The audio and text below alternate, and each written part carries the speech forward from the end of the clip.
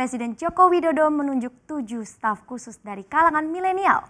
Ketujuhnya akan menjadi sumber ide dan gagasan Presiden dalam mengembangkan inovasi di berbagai bidang. Jokowi mengatakan pemilihan staf khusus dari kalangan milenial bukan tanpa alasan.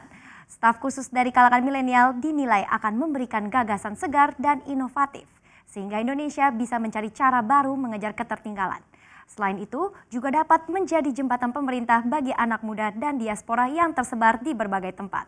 Ketujuhnya akan melengkapi staf khusus presiden yang kini berjumlah 14 orang. Dan berikut dan berikut profil tujuh staf khusus Jokowi dari jalangan milenial. Yang pertama yaitu CEO sekaligus pendiri Kreatifpreneur Putri Tanjung dan Putri aktif dalam berbagai kegiatan kewirausahaan di kalangan anak muda. Selanjutnya, pendiri Ruang Guru Adamas Belva Devara yang meraih gelar master ganda di dua universitas ternama di Amerika Serikat. Berikutnya, perumus gerakan Sabang Merauke Ayu Kartika Dewi. Ayu selama ini dikenal dengan menyebarkan virus toleransi di kalangan anak muda.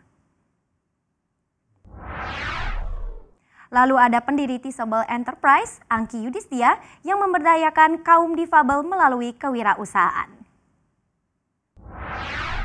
Dan berikutnya Direktur Papua Muda Inspiratif Billy Mambrasar. Menurut Jokowi, Billy merupakan contoh anak muda Papua yang berprestasi.